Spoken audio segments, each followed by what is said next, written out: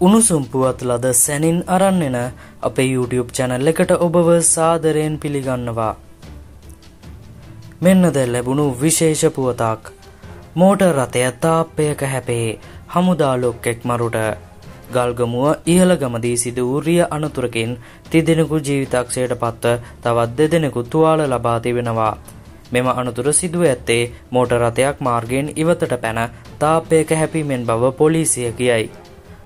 අනතුර සිදුවන අවස්ථාවේ මෝටර් රථයේ පස් දෙනෙකු ගමන් කර ඇති අතර තුවාල ලැබූ දෙදෙනා රෝහල් ගත කර තිබෙනවා. මියගිය පුද්ගලයන් අතර යුද හමුදා මේජර්වරයෙකුද සිටින බව පොලිසිය සඳහන් කරයි. මේ ගැන ඔබේ අදහස් පහතින් කමෙන්ට් කරන්න යන්න අමතක කරන්න එපා. ඒවගේම අපේ ජනල් එක සබස්ක්‍රයිබ් කරන්නත් අමතක කරන්න එපා. ඔබ සැමට සුබ දවසක්.